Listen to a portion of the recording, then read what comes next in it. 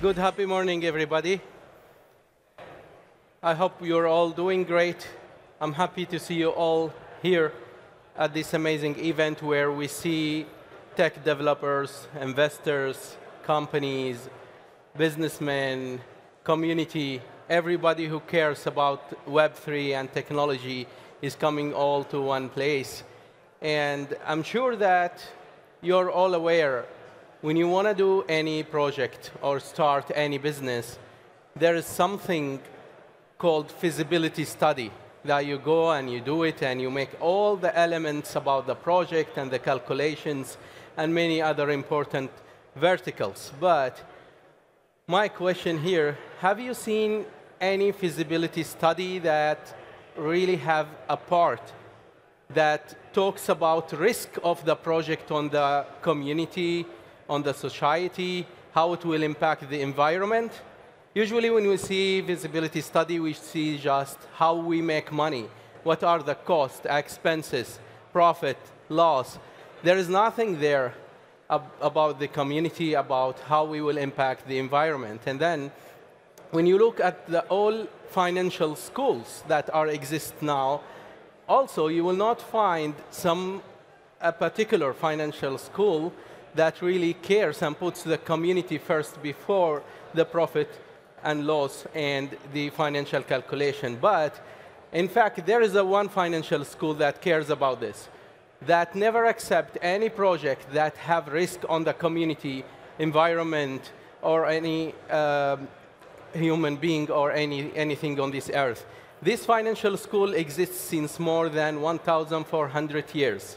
And it talks always about how to balance any financial deal, how to take care about the uh, environment and humanity, how to put first that there is no negative reflection of any project on the earth and the people and anyone who lives on this earth. And then this financial school also, it highly follow the transparency, it highly recommend eliminating mediators, it highly cares about ethics and value. That's why it's a successful financial school that we never seen a single part of it that filed a bankruptcy since it started since long time. This financial school is called the Islamic Financial School or the Sharia Financial School. Now, many people will ask, do we really need something called Sharia Financial School or Islamic finance? Is it really needed? We have all great other financial school. Let me tell you some little figures so you know how much needed is this. First of all, the community who's really following the Sharia financial school, they are more than 1.9 billions from Muslims and from non-Muslims. It is not exclusive for Muslims only.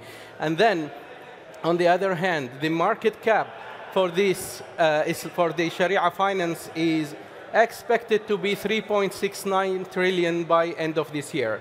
The Islamic products and halal products, the market cap is 4 trillion.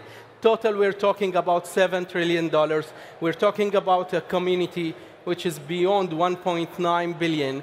We're talking about this community is really still underserved because most of the financial solutions that are exist at the moment, it needs physical presence. And then you need to open branches, you need to have um, people present physically, and this eliminate the um, availability for all the people. It's not easy to reach them. You will find 51% and more of the people who follows the Sharia finance, they are unbanked. Check these uh, rates and numbers in most of the countries, but there is a reason why they are unbanked, because in the past, these, um, the technologies that were at hand still underserving and still not really capable to serve and match all the verticals of these schools and its ethics and values. Now, we have the blockchain, we have the crypto, we have the Web3, and this is the best matching technology to serve this community. Now, if we don't use this tool at this time, at this era we are living, to serve the community best and to serve these ethics and values, we have a big responsibility, and that will, and that will be really a big failure if we are not using it. That's why we thought to start our project, and we have built the first ethics blockchain called HAQQ chain, and on top of it, we have put the Islamic coin as a native coin of HAQQ chain. So the project has many components. So when we talk about the technology, um, the blockchain itself, it's proof of stake. It's very eco-friendly. And how to make it Islamic, we have a Sharia board. And the Sharia board, like most of the professional financial institutions, they have their own Sharia board. And if, even the non-Islamic banks, when you look at uh, many banks like Standard Chartered and others, they will have their own Sharia compliant products and they will have their own Sharia board. Our Sharia board is sitting in more than 50 banks Sharia board.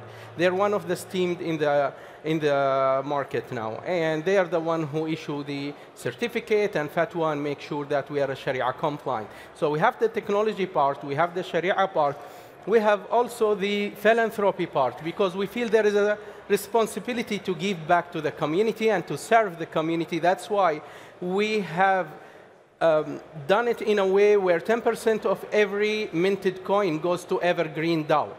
And Evergreen DAO will serve the community and give grants to their projects and give grants to the charities and support the humanity all over the world.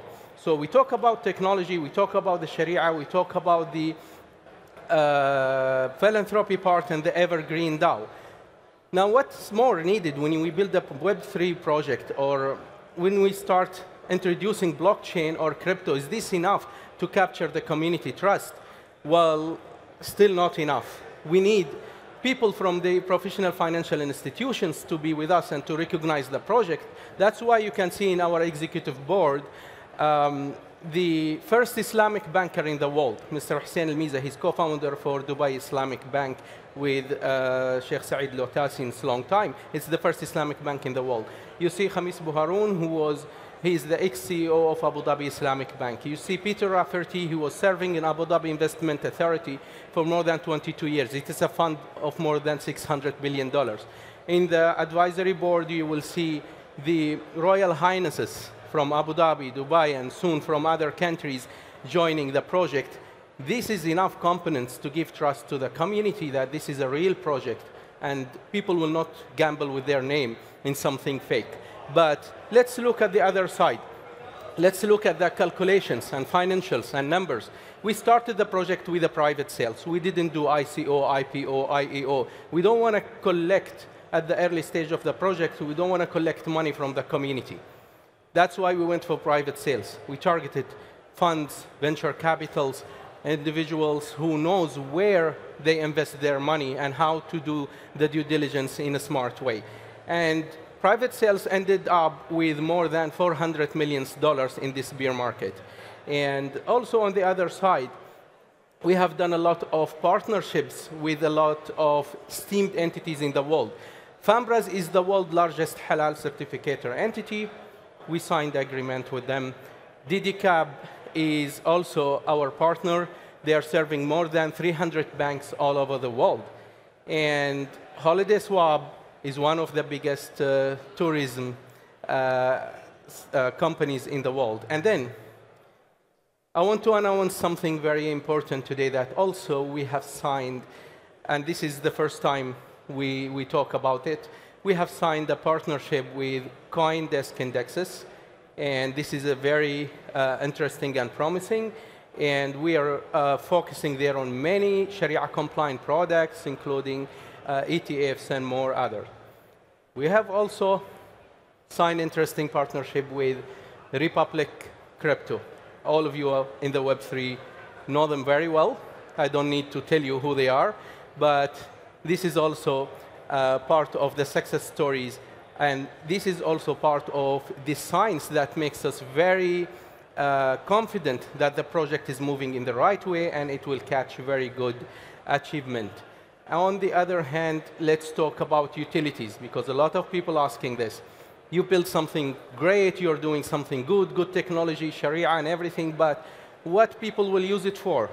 Why people will buy or will get Islamic coin while they will get to HAQQ chain. What are the utilities for the people who follow Sharia finance, ethics, and values? When you look at all what is happening in the decentralized, in the centralized world, in all Islamic banks, Islamic funds, Islamic finance, all the project products they are providing, we look at the lifestyle. We are not providing just one financial pro, uh, product. When you look at the Sharia, it is a lifestyle way for everyone. It takes care about financial side, about social side, about um, environment, about education, and many other sides. So we are moving this lifestyle that's happening in the centralized world to the decentralized world. If we look from Sharia finance point of view, there are many products for exchanging um, loans or uh, getting into partnership like Mudaraba, Musharaka, Murabaha, Muqayada, many products will be happening in our uh, blockchain, which is the best matching tool because smart contracts is one of the best tools to serve this. This all can be converted into smart contracts, even inheritance. When somebody pass away, I hope we all will, will have a long life, but we see a lot of problem and cases at the court. And there is a very clear formula in Sharia finance for inheritance. We deploy this in a smart contract, and once the uh, death certificate uploaded to the smart contract, it will be auto-distributed. Look at the Zakat fund, which is a must donation. And for people who don't know Zakat, Zakat is a must donation in Sharia finance. It's 2.5% of any resource that you own and you're not using it for more than 12 months. Then there is a social responsibility on you to give to the poor people 2.5%. And how it is happening now, it is happening through some of the zakat funds, but what they come back to the donators, they come back with Excel sheet, and we cannot verify whatever happening where the, the people really receive, they don't receive, you don't know. But when you do this over the blockchain, when you use the uh, wallets and you connect that with the digital identity, then you can really have a full transparency on what is happening. But more than this, let me tell you something. When you do any project and you want to measure the success factors, you always look what I am providing to the community. Is it a good, good to have or must to have? If it is good to have, you spend more effort to convince people. What we are doing for all people who believes in Sharia finance and ethics and values, it's a must to have. And blockchain and technology it's serving this the best way. So if I'm providing to the community with more than 1.9 billion, the best technology in much easier way, in more reliable way, and in a very efficient way, and it is a must to have for them, of course, they will adopt it and they will use it. That's why we see today downloads of our HAQQ wallet exceeded 1.5 million downloads, and still we didn't list the coin on exchanges. You see the people following the project more than in all social media, more than 1.7 millions, and still we are not listed on the exchanges. So there is a huge adoption when it comes to this. There is a huge value. Aside of the financial part, we're also building a lot and having a lot of products, uh, not only from us, but it's also coming from the community, and that's what we want and that's what we encourage. That these products, it's also taking care about different sides of uh, Sharia uh, ethics and values. We are building something called HAQQ Social, which is a clean social media that keeps our eyes clean and keep our families in the right path to look at the good things and not just watch something that pop up from here and there that doesn't go with people who cares about ethics and values. We are also building ethical gaming. We are also focusing on education, and we built the HAQQ uh, Academy for anyone who wants to study and learn what is blockchain, because we have to admit still the awareness about Web3 it, at its very lowest stage when we look at the all people in this planet, majority of people, they don't really know about it. So that's why we built the academy. People can learn blockchain, can learn crypto, can learn Web3, can learn Sharia finance, and it is for free. We have done a partnership with the International Islamic University in Malaysia. And this is rarely happen in uh, crypto projects with uh, blockchain and cryptocurrency.